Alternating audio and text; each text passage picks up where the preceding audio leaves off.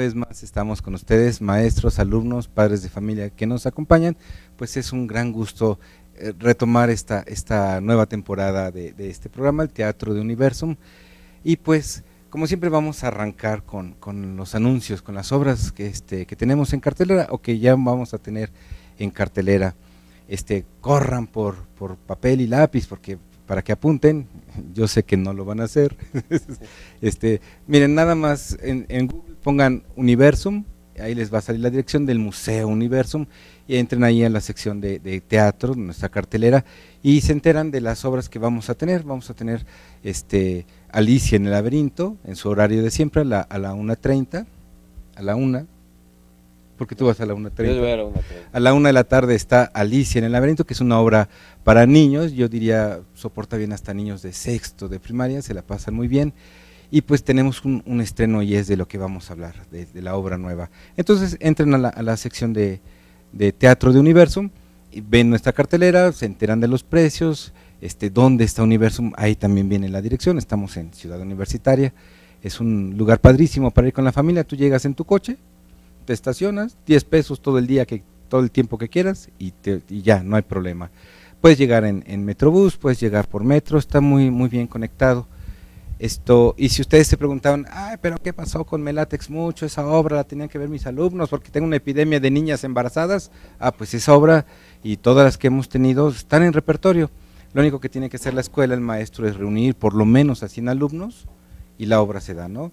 Y este Universum siempre se ha caracterizado por tener precios muy accesibles. No, Universum no lucra con su teatro, entonces nuestros precios son muy, muy atractivos y de esta forma, pues este, los chicos no, no, no es pesado para ellos pagar nuestro boleto y este y le da la oportunidad a la escuela la mejor de, de, aumentar un poquito la tarifa para hacerse de recursos para que haya una derrama para el colegio eso está muy bien se vale por supuesto y pues bueno entonces métanse a Google, pónganle Universum y ahí está toda la información. Y también van a encontrar la información de la obra nueva que viene, que vamos a estrenar este, por fin tenemos un título, nuevo que estábamos esperando desde hace un buen rato, se llama La sombra del bardo.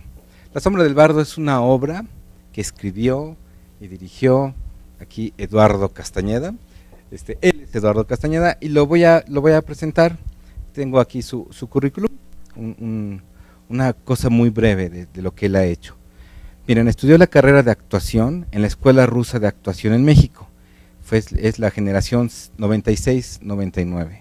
Posteriormente, estudió en la Facultad de Filosofía y Letras de la UNAM.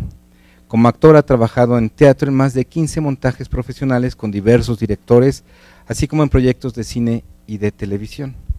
Como director ha realizado 21 montajes profesionales en teatro, ópera y circo, entre los que destacan Don Giovanni, Angelique y, la, Angelique y La sombra del bardo. Como dramaturgo ha escrito 17 obras, las cuales han sido montadas por diversos directores.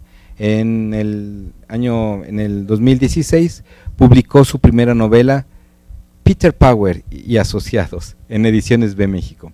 Actualmente es profesor del último año de actuación en el Centro de Capacitación Artística de, la ANDA.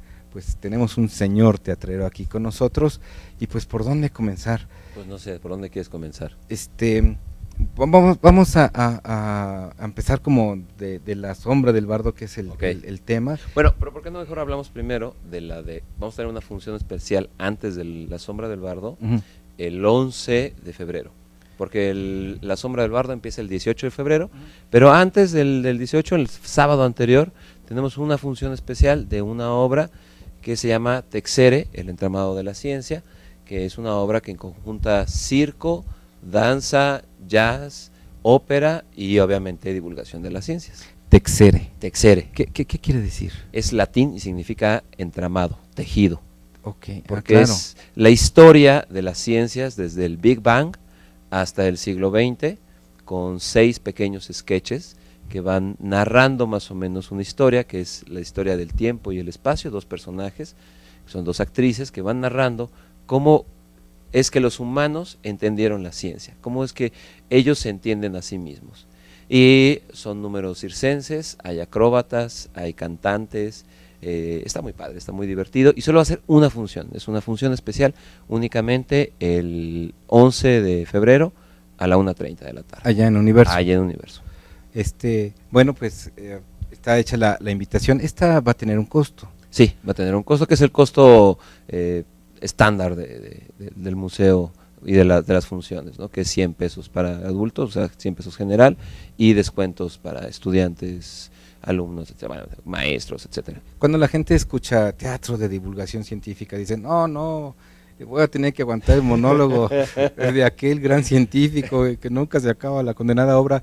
Y, y, esto como que dicen, ah, tiene que ser aburrido, si es ciencia es aburrido. Este, pues tú qué le dices a ese público? Ay, pues no sé, la verdad es que creo que el, asunto es que se acerquen al final.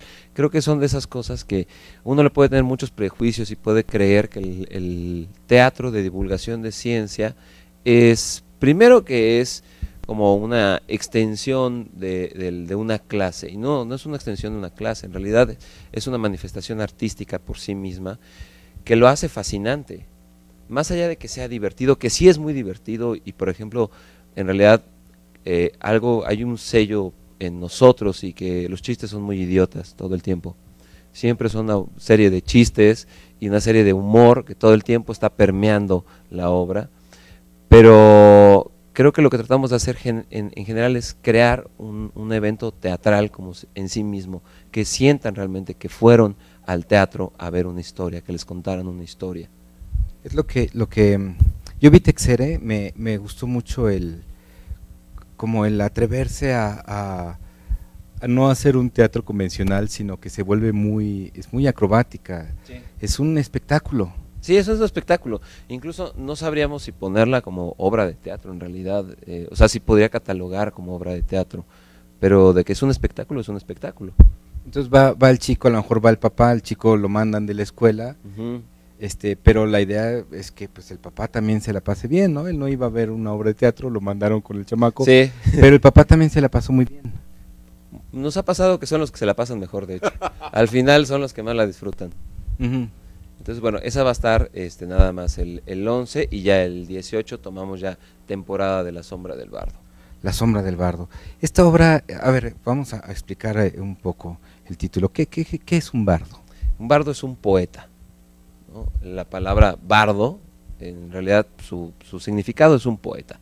Pero al bardo se le conoce como el gran bardo universal, es William Shakespeare. seguramente tendrán que verlo en algún momento de su clase. William Shakespeare, que fue este gran dramaturgo inglés, el año pasado cumplió los 400 años de su muerte y hubo una gran celebración en todo el mundo.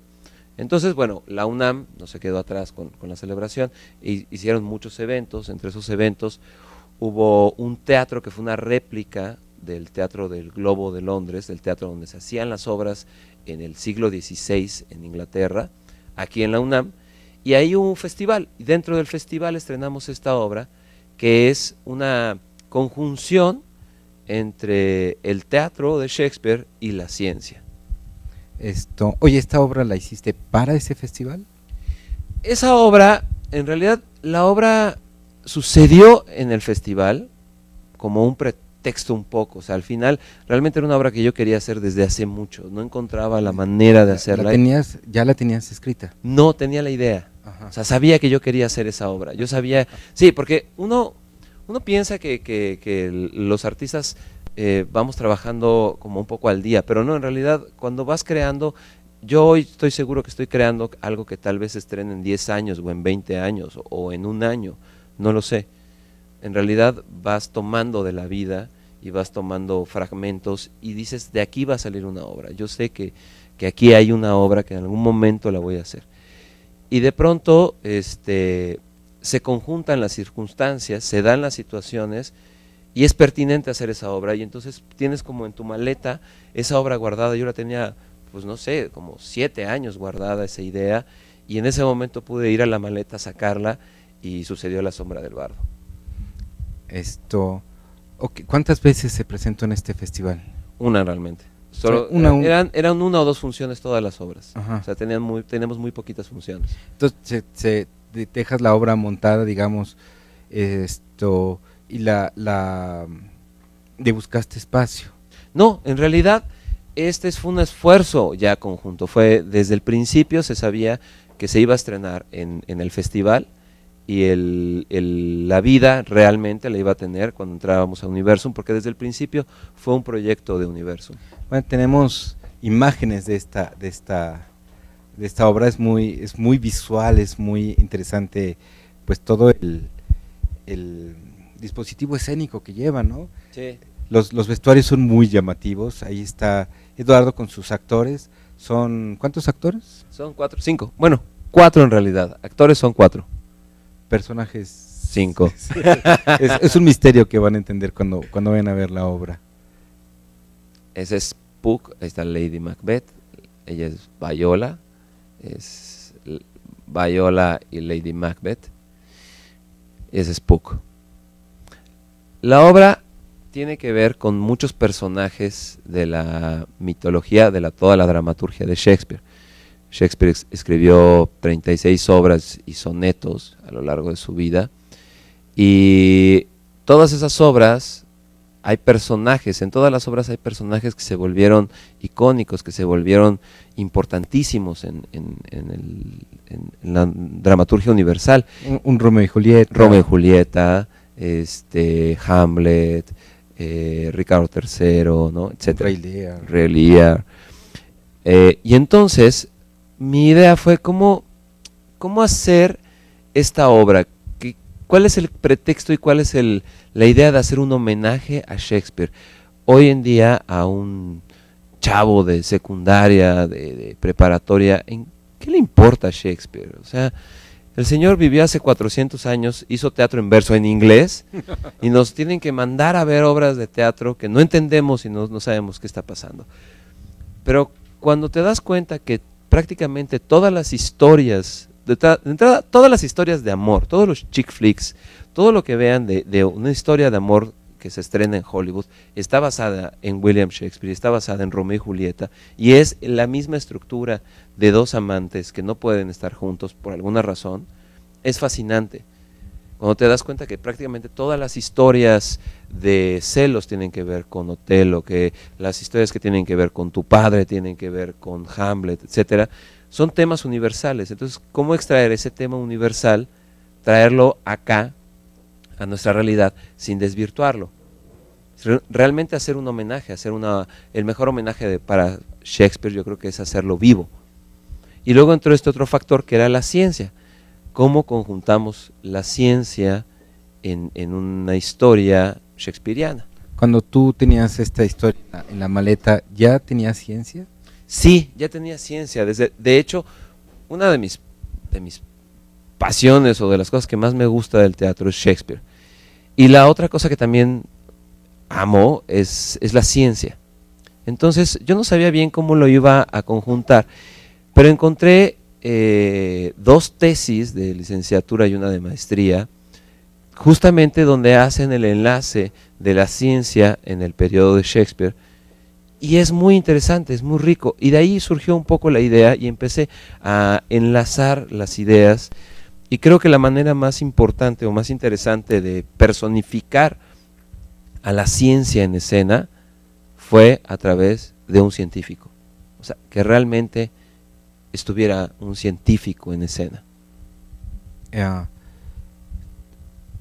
Estoy quemando la obra, ya lo sé. No, no, porque no estás contando realmente. Esto, sí, un científico en una obra de Shakespeare suena como... Eh. Sí, es rarísimo. es muy raro, sí, sí, sí. ¿Tú crees que la gente se identifica con este científico que, que sube al escenario? Sí, porque en realidad, desde el principio, lo pensé desde una teoría científica. Es sobre la, no tengo una teoría, sobre en realidad toda una línea de estudio que son las neuronas espejo. Las neuronas espejo son neuronas que se empezaron a estudiar a partir de los años 80 y es una especie de reflejo. Es decir, si yo ahorita tomo un vaso de agua, algo en todas las personas que me vean van a conectar en su cerebro como si ellos estuvieran tomando un vaso de agua. Por eso te da sed cuando ves a alguien tomar un vaso de agua, o si ves a alguien bostezar, bostezas. Si ves a alguien reír, mm, muy honestamente, te da risa, aunque no sepas de qué. Y es porque se están activando las neuronas espejo. Tú te proyectas en esa otra persona. Es una especie de empatía sí. instantánea. Claro, sí, sí, es una empatía. Por eso funciona muy bien y tiene que ver mucho con el teatro. Entonces, la idea es que este científico, de alguna manera, representa a todo el público. Todo el público se siente identificado, porque tú ves a un actor, tú entras a un teatro, pagas un boleto, te sientas en una butaca y sabes que los que van a aparecer del otro lado del escenario son actores, pagados en el mejor de los casos. Sí, pero van a ser actores, es decir, es gente que por lo menos, si, si no es profesional, decidió estar allá. ¿no? Ellos saben qué van a hacer. Y tú estás de este lado, tú eres público, no sabes qué va a pasar. Y si de pronto se revierte un poco el papel y hay alguien que está sentado y va a subirse al escenario, tú inmediatamente te sientes identificado, incluso te sientes comprometido. Pude haber sido yo. Pude haber sido yo, pude haber sido yo el que está ahí.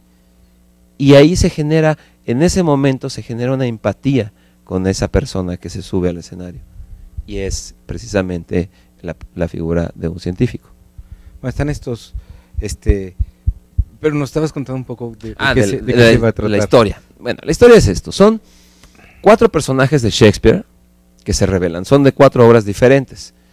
Entonces ellos se revelan ante, Shakespeare. Ya están hartos de que los maten en el tercer acto siempre. Ya están hartos de que no figuren, de que las, las obras se recuerden por ellos, pero ellos no son los protagónicos. En realidad uno de los personajes más importantes de Macbeth es precisamente Lady Macbeth, que es de los personajes más importantes para cualquier actriz en su carrera, si es que lo alguna vez lo pueden hacer. Y es un personaje que mata en el tercer acto y en realidad solo tiene dos monólogos importantes. Realmente es un personaje chiquito. Eh, Puck, que es el, en, Sueño de una noche de verano, que es una de las comedias de Shakespeare, tiene, él es el que arma todo el relajo, es el que hace toda la confusión y tampoco es el protagónico de la, de la historia en realidad. Los protagónicos son los enamorados. Eh, Mercucho, de Romeo y Julieta, que es el amigo de Romeo, es un personaje que también, gracias a él, se detona toda la tragedia que viene después. Y tampoco, también me lo matan de volada. Este, y Bayola, que es además de una de las obras menos representadas, es una obra que pues muy poca gente conoce, que es Noche de Reyes. Y esa obra, además de que es de las menos representadas, el personaje de ella es el personaje detonante de toda la obra y no es el protagónico tampoco. Entonces, ante esta falta de reconocimiento, ellos deciden hacer su propia obra. ¿Cuál es? Hamlet. Hacen Hamlet. Hamlet, porque es Pero no está Hamlet. No está Hamlet. porque Hamlet es, de alguna forma, es como la gran obra de, Shakespeare y es la obra que habla de la sombra del padre. Y para nosotros, la gente de teatro, Shakespeare es nuestro padre y es una gran sombra también. Entonces me gustó la idea de jugar con eso. Luego viene el fenómeno de, bueno, ¿y ahora cómo lo hacemos comedia? Todo suena muy denso. Pues todo es a partir de una comedia de situaciones, porque ellos no se pueden poner de acuerdo en cómo hacer esa obra y deciden que el protagónico lo tiene que hacer alguien de afuera. Y entonces escogen a alguien del público. Y es ese alguien del público que va a subir al escenario a hacer Hamlet. Pero él no sabe la obra. Él no se sabe la obra, es una persona que está en el público, no se sabe la obra. Y entonces ellos los van, lo van trayendo de un lado para otro, ¿no? Y él como científico también se va dando cuenta de los errores científicos que están diciendo, porque al final la ciencia es un ente cambiante, es un ente que se, que se va modificando. La ciencia que enseñamos hoy, o que se enseña hoy, o que se practica hoy, no es la ciencia del siglo XVI. Y el siglo XVI es muy interesante porque viene todo el debate de la Tierra es el centro del universo o no. Y tiene un gran ingrediente que es, por un lado, hay un grupo de gente que dice que no, que es el Sol el centro del universo, y hay otros que dicen que no, que es la Tierra el centro del universo y que todo gira alrededor de la Tierra. Tal como debe ser, porque así lo... Así se, así se enseñó durante siglos, ¿no? Y es la, la, la, idea aristotélica y ptolomeica, ¿no? ¿no? Dijeron, Dios nos hizo, por lo tanto todo tiene que girar alrededor de nosotros. Entonces, aquí viene como el debate que se empieza a enseñar en esas escuelas, que ya, por ejemplo, hoy en día está muy desechada esa idea, evidentemente, ¿no? O sea, ya hay muchas teorías y hay muchas otras ideas al respecto del universo, pero ya sabemos que la Tierra no es el centro de, de nuestro sistema solar, por lo menos, ¿no? Entonces, es muy interesante cómo se empieza también a modificar la ciencia. ¿Y qué se sabrá dentro de 400 años? Pues no sabemos, ¿no? Pero eh, justamente creando ese conocimiento es que se hace la ciencia, modificándolo todo el tiempo. Entonces, está, está ocurriendo esta... esta ¿cuál, es el conflicto? Que, no se, que quieren hacer la obra, pero son cuatro personas que se caen mal, además. Son cuatro personas que no se caen bien, que no se soportan. Entre ellos ahí está Lady Macbeth, que es una asesina. Durante la obra se la pasa matando gente. Este está Mercucho, que tampoco nunca, nunca sabe bien qué hacer, pero también es, es, un guerrero. Viola, que siempre le toca hacer personajes de hombre. Y Puck, que quiere organizarlos a todos. Entonces nunca se pueden poner de acuerdo. Y el problema es eso, o sea, nunca terminan de, ponerse de acuerdo y además está este otro factor del otro personaje que mete más relajo en la obra todo el tiempo. Claro. Esto, háblanos un poquito de tus, de tus actores. Yo, a la, a la gente que, que, comentó tu obra, eh, algo que, que, les gustó muchísimo fue como el elenco que lograste conformar. Estos actores, ¿cómo los escogiste? ¿De qué escuela son? Pues a, a tres de ellos los conozco ya de muchos años, he trabajado con ellos, los he dirigido en, algo. Eh, Muriel Ricard es una gran, gran actriz. Ella es la que hace el papel de, Lady Macbeth. ¿Cómo, ¿Cuál es el nombre? Muriel Ricard. Muriel, pues es una actriz con más de 30 años de carrera, a pesar de que pues, son prácticamente los años de su vida. O sea, ella empezó siendo Sí, empezó niña, ella, ella fue niña actriz. Entonces ella empezó, ella fue niña actriz, estuvo en el en Vaselina de, de Julisa. O sea, ella empezó ahí como niña. Entonces tiene una cantidad de, años y de experiencia, una actriz maravillosa. Y que a ella Oye, yo la vi muy contenta haciendo la obra. Sí, sí, sí. Y además es, es que pues es un papel delicioso. Es, es, raro que te den ese papel. Entonces, en comedia además, pues es muy rico. Este, Edurne Ferrer es una actriz egresada del CUT, una, chica también súper talentosa. He trabajado con ella ya también hace años, la conozco bien. Eh, Fernando Villa, que hace Puck, un actor también maravilloso y además un gran actor de clásicos. a él le gusta mucho el verso, le gusta mucho todo el periodo barroco. Eh, es una persona muy divertida, es, es, un, un, ser muy carismático, lo quieres de una. Entonces a este personaje le, viene muy bien. El único actor con el que no había trabajado es con Ramón, Ramón Valera, que es también un gran actor, que no es mexicano. Y eso me pareció muy interesante, poder conjuntar también actores un poco de chile, mole y pozole. ¿no? Poder conjuntar actores de no solo de diferentes fisonomías, también de diferentes nacionalidades. Esto, bueno, pues, tenemos un video, lo vamos a pasar para que ustedes se den una, una idea. Es una probadita, es simplemente para que se enamoren de este trabajo. Mayor felicidad. Emplea todo su tiempo en dormir y alimentarse. En bruto. Y no más. El ser grande no consiste en obrar solo cuando se tiene un gran motivo. ¿Cómo pues permanezco yo en ocio indigno, muerto mi padre alevosamente, mi madre envilecida? Estímulos capaces de excitar mi razón y mi ardor yacen dormidos. A partir de hoy, no existirá en mí fantasía alguna y cuantas ideas forme serán todas sangrientas.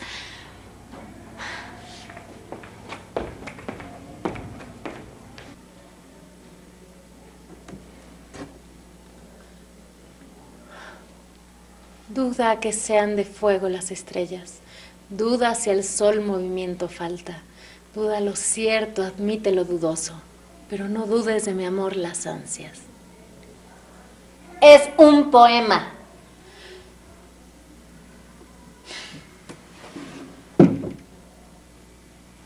Oh, mi culpa es atroz. Su hedor sube al cielo llevando consigo la maldición más terrible. Este Mi delito oculto se constituye por un deseo de mandar con inteligencia y mi reinado perdurar. Algo hay podrido en mi patria. Pero calla corazón, detente alma. No es momento de cuestionarme mis faltas. Debo mandar sin detenerme a dudar sobre mi manera de gobernar. Yo mismo... La chiquitita de, la obra, este, ustedes la van a poder ver en Universum. Les repito, entren a la, al portal de Universum, pongan Universum en Google em, y ya, bien, viene ahí la dirección del Museo Universum. El 18. Así es, el 18, una y media. 18 de febrero eh, inicia este, La Sombra del Bardo. Es una, una obra, este, pues, ¿tú, tú qué, edad crees que, que es pertinente? Pues mira, nosotros la habíamos pensado sobre todo para secundaria, pero sucedió un fenómeno muy chistoso el día del estreno. El día del estreno, que fue en el Festival de, Shakespeare, llegó una primaria completa. Llegó una primaria y la sentaron en, la, toda la primera parte del teatro. Yo pensé que iba a ser el acabose, pero no, fue un éxito. Los niños se conectaron muy bien. Creo que al final Shakespeare sí es universal, y sí logra conectar con la gente y creo que la primaria la aguanta bastante bien. Ocho años veo que, que, es muy divertido y entienden. Claro, hay diferentes niveles de entender. Hay unos que entienden unos chistes, que les parece mejor una historia que otra, se identifican más con un personaje que otro, pero yo creo que es pertinente para ocho años en adelante.